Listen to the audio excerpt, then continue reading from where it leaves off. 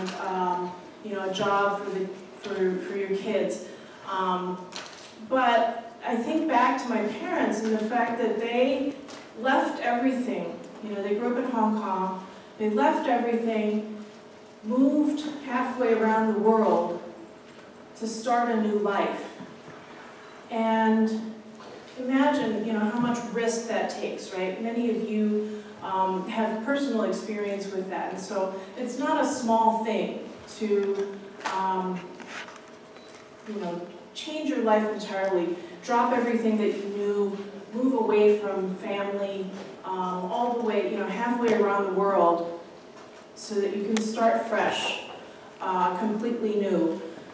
Um, so, you know, that's, um, that idea, you know, the fact that, you know, my parents did that. So, you know, I don't necessarily have to follow the sort of safest path forward, but to take inspiration from the fact that, you know, my, I come from a family that was courageous enough to do that and to, you know, take a little bit of risk, do things a little differently than um, they were told, take the safe, you know, don't take the safe route all the time, but um, to, you know, maybe have the courage to do something a little different.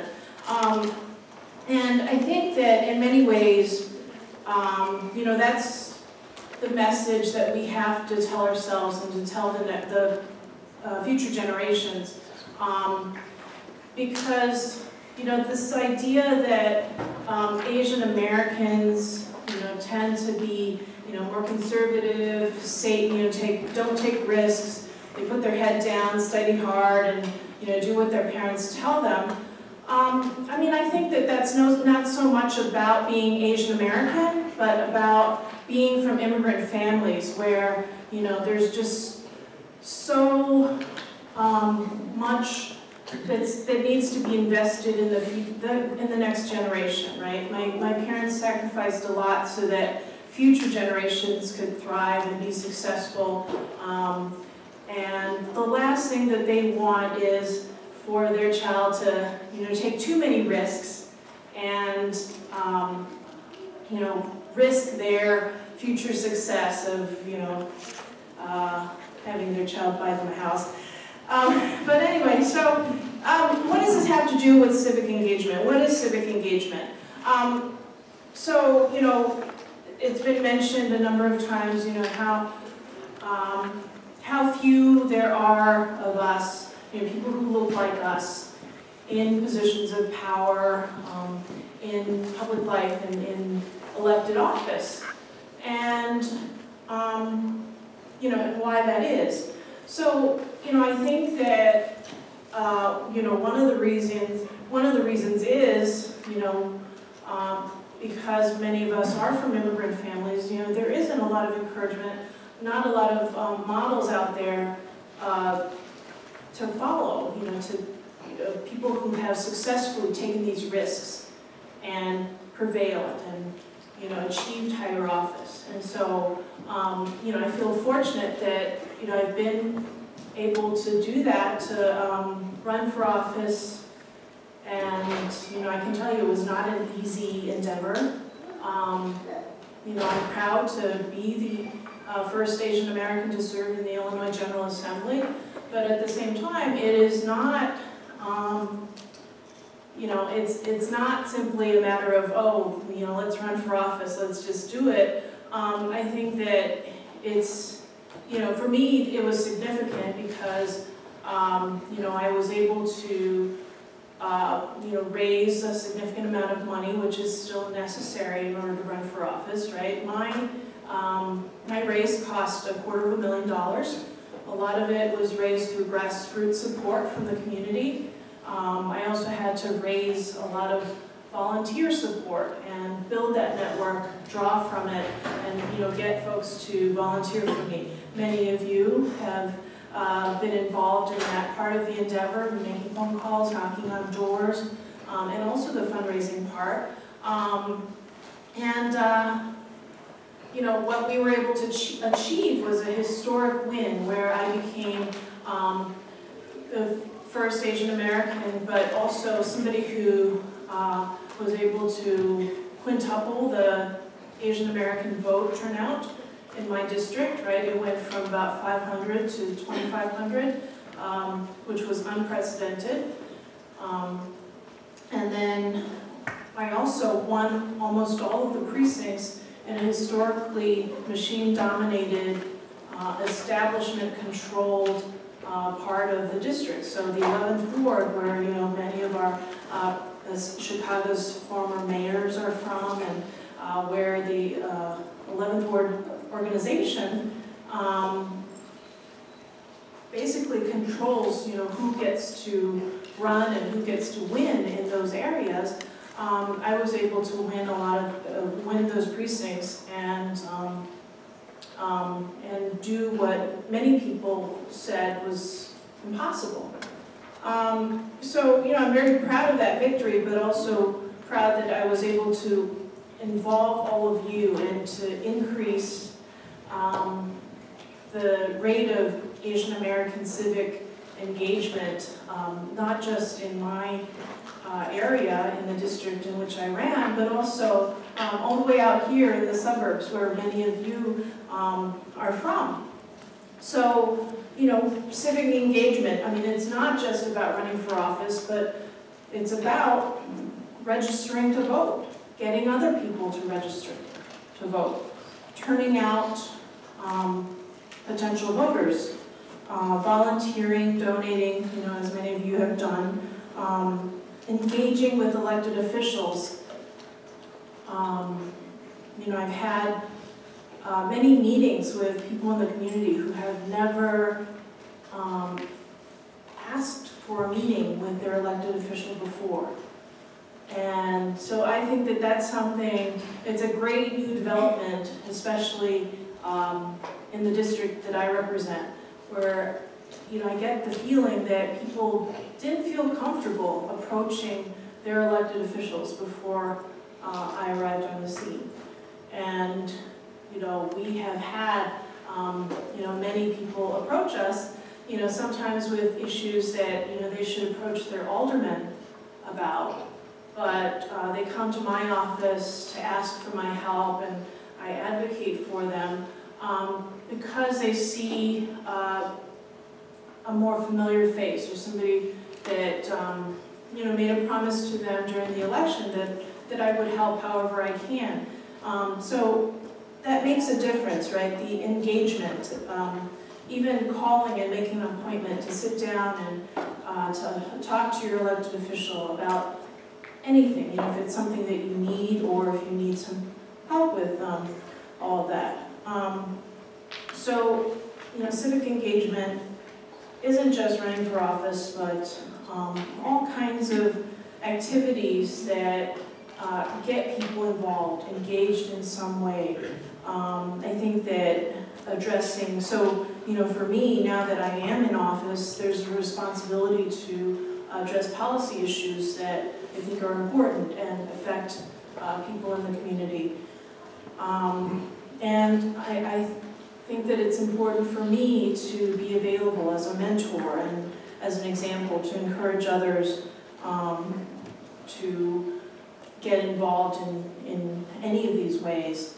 Um, and, you know, I also wanted to comment on you know, how to be effective, right? You know, what should you be doing or what should you be thinking about now if you're thinking of running for office one day, if you think that your role, um, the best way that you can make a difference in the world is by running for office and serving as an elected official, you know, what should you be doing now? How um, can a young person prepare themselves to one day run for office?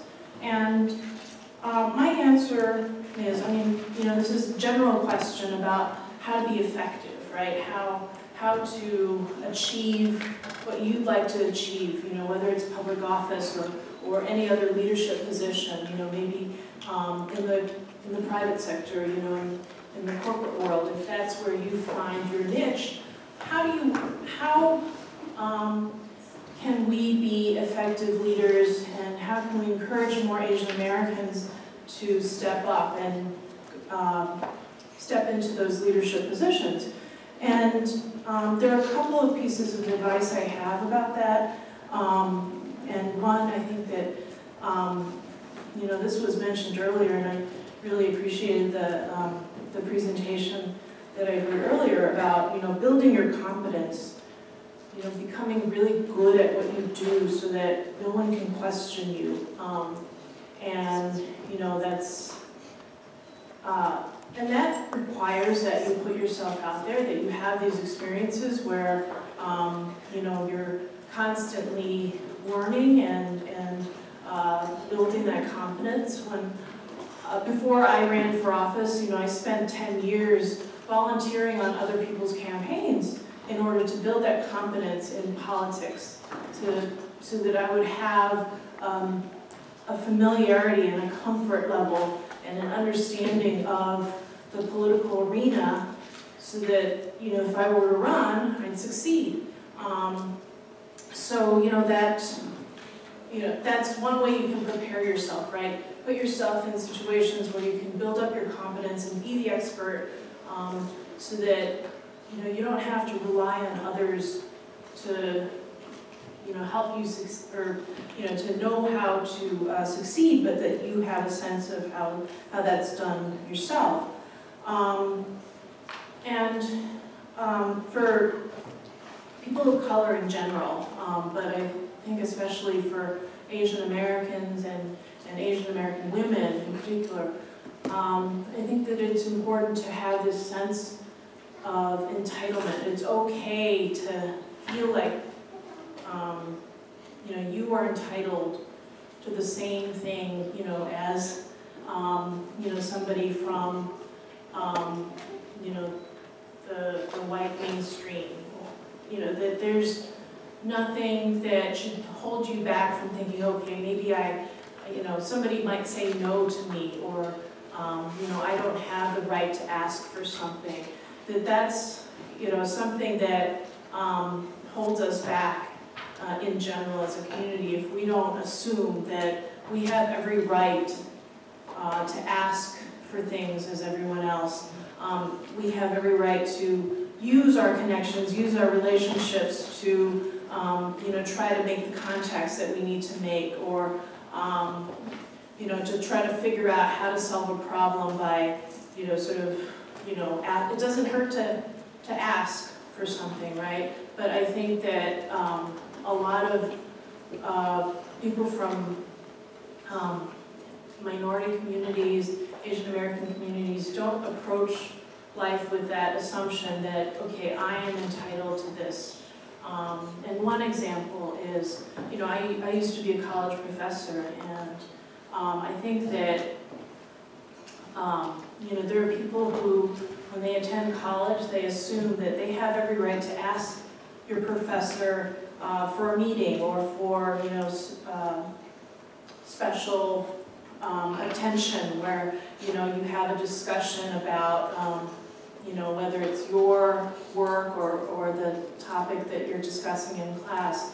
Um, you know, and then there are some students who assume that, you know, you're asking for a special favor or special attention, um, you know, when you make an appointment with your professor and ask them to sit down. But, you know, that was my job to, you know, give everybody uh, the attention they needed to succeed in the class, right? So, um, you know, those who made appointments with me or came to my office hours um, and understood that that's an entitlement that you have as a student, those were the students that ended up doing better. Um, so, you know, I think that it's a disservice to yourself to go around assuming that, you know, you're bothering somebody if you're asking for a meeting. Um, or that, you know, that's not um, something that is polite or anything like that. I think that more of us should approach the world with this um, assumption that, you know, this is something that we're entitled to. Um, you know, when uh, people who are thinking of running for office, um, you know, ask other people for mentorship. Um, You know, don't, don't be shy about it. It is, um, it's, it's your right to, to make that ask. And, you know, there's no guarantee that somebody will say yes, obviously. But, um, you know, don't be shy about asking for what you need. And, uh, finally, so, you know, once you've, um, made it to the top and, and, or, you know, made it to a position that, that you've been looking for and, uh, you know, you want to help address this question of, um, lack of representation, it is very important to provide that mentorship, to bring other people along. You know, just like, um, uh, was mentioned in that first pres- presentation, you know, um, you know, use your authority and power to bring other people along and to pro- provide that mentorship so that the numbers change. I mean, I think that we do have a disadvantage now because there are fewer uh, Asian Americans in position of power. Um, and, you know, that means that the numbers um, grow a little more slowly, but the more people that uh, are in leadership positions that actually reach down and bring other people along, the faster our numbers will will grow. So um, I encourage you all to think about all of those things, and, you know, I know we'll be here for um, questions afterwards, so I encourage all of you to, you know, ask, um, you know, whatever it is that, that, uh, you know, you'd like to know. I'm always happy to provide that mentorship and advice, um, and to bring other people along with me. Okay, so thank you very much.